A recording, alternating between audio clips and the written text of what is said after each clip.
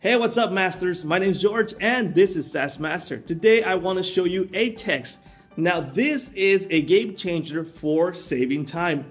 Now, it's only $5. Yeah, you heard me right. There's no upsells, there's no extras, there's nothing else. You just pay five bucks and you have it.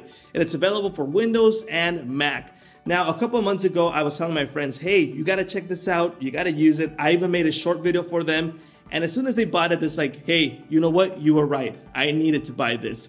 So once you check this out and you install it, what you're gonna be able to do is save a lot of time because you're gonna have written text already written and ready. Now you might say, hey, you know what? Apple has this. It's called Text Expander or Text Expanding. It's something like that. But this is way more complex and it does way more than you might think or what Apple already does.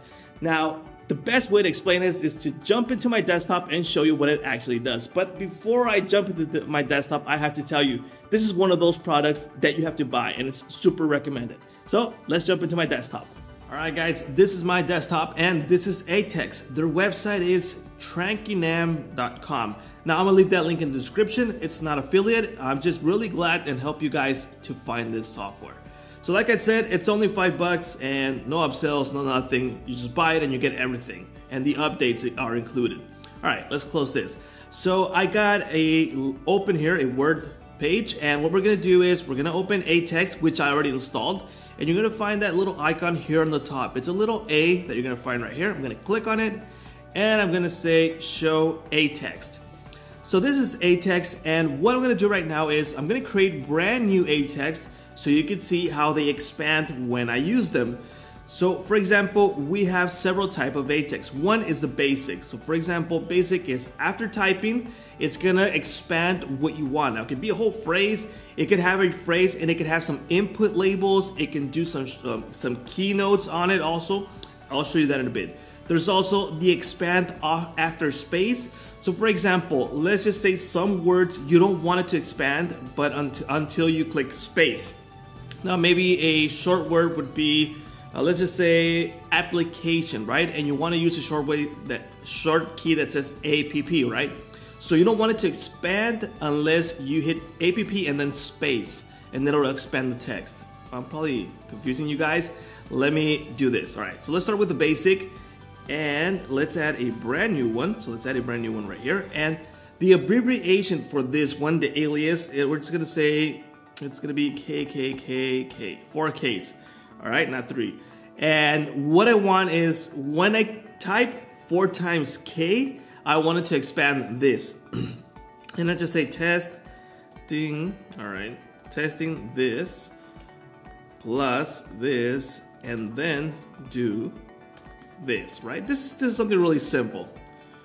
Uh, and then do this. This is just something really simple. I'm gonna show you what that does. All right, so when we click, when we type four times K, now this is my site right here, my page.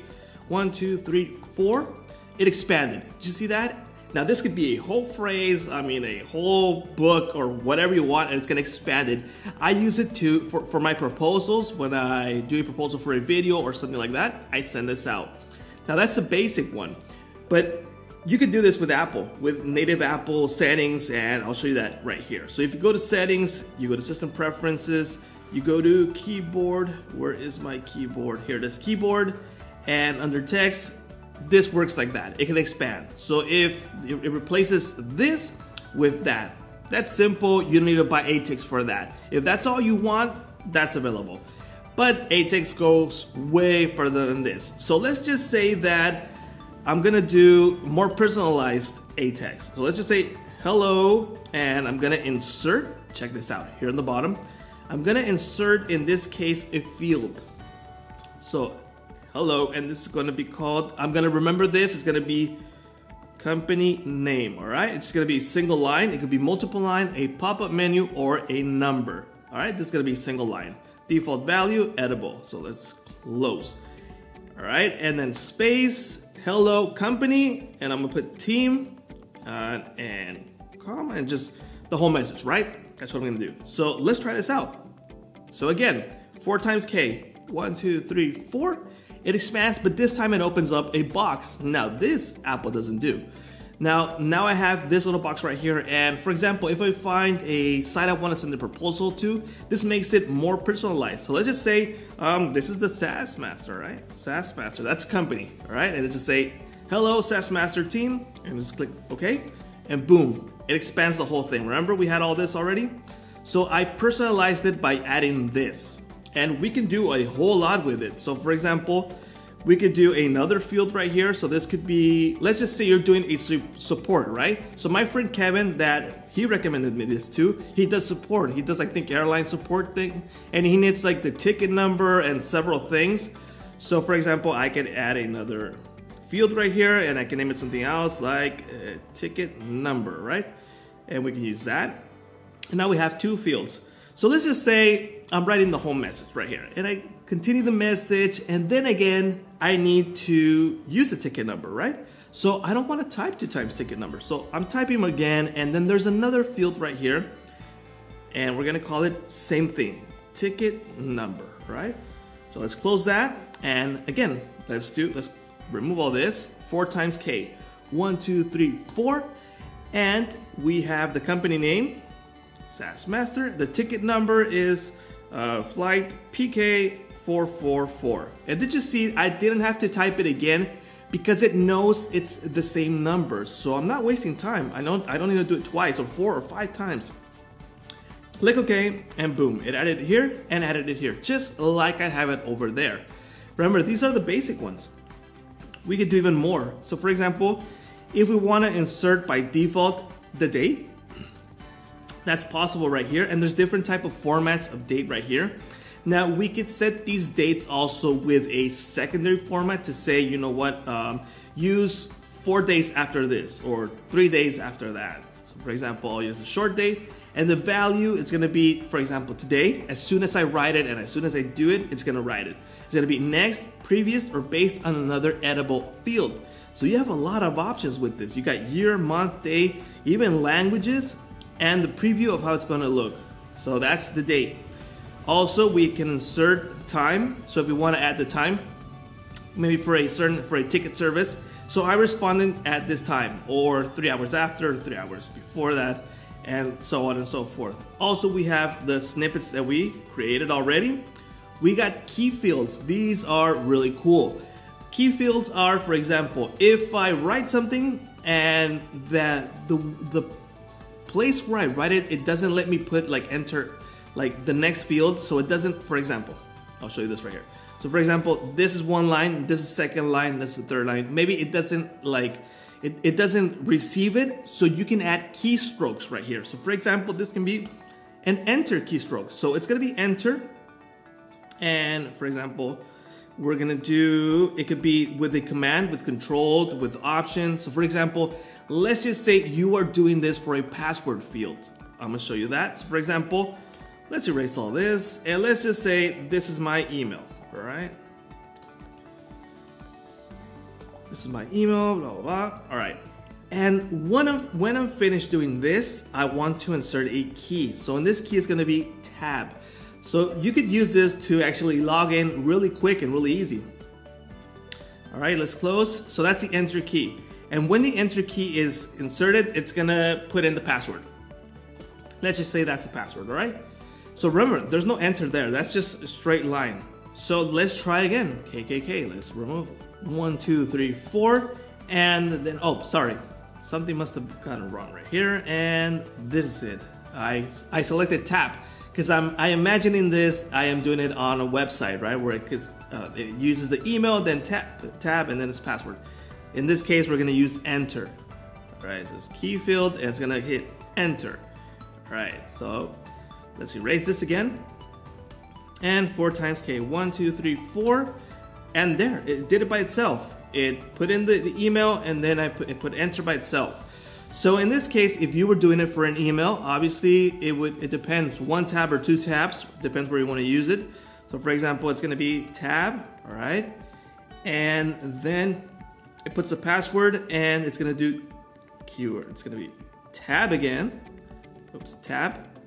Whoops, that's a cute Tab, close. And at the end, it's gonna do enter.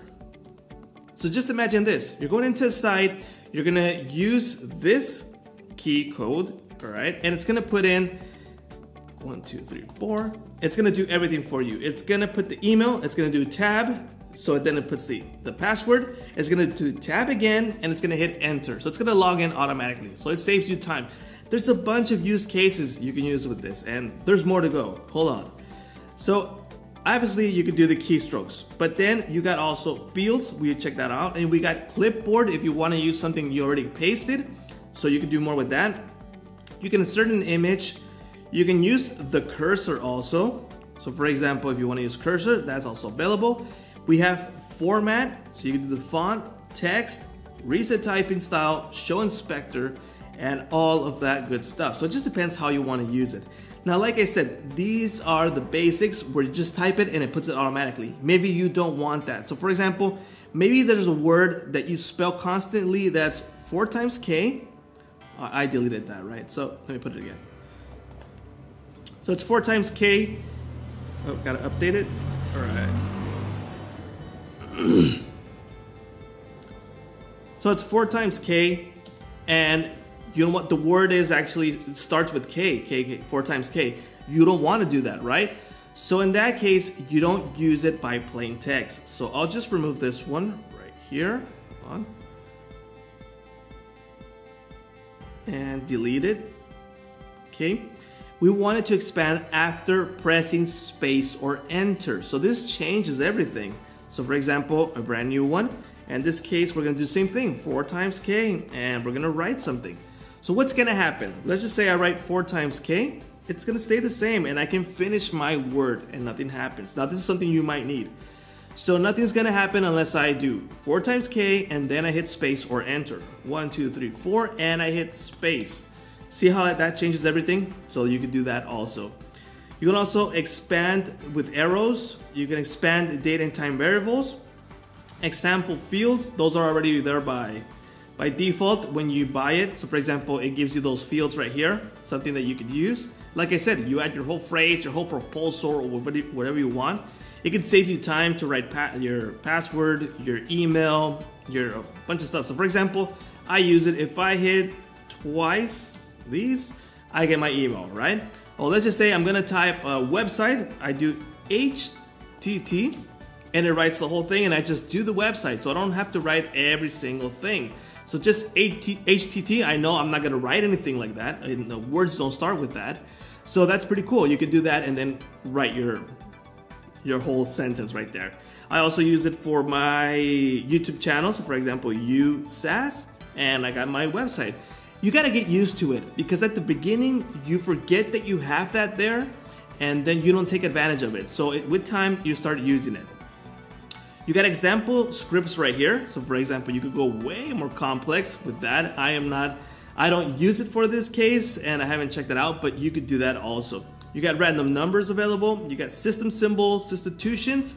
And I use these, for example, in Spanish. So for example, I'm using English right here. So it's pretty cool that if I write, for example, this one has this little letter and I'm using an English keyboard. So I don't have to write it again. So I just write it in Spanish, in, in English, sorry. So for example, and it, it changes it for me because this is a right. So in Spanish, it's called ñ. That's the, the type of, the, of that letter and I need it. So instead of doing it manually on my Mac, that does it automatically for me. So I keep adding right here in Spanish when I remember that I need to add something right there or a spelling correction, and that helps me out.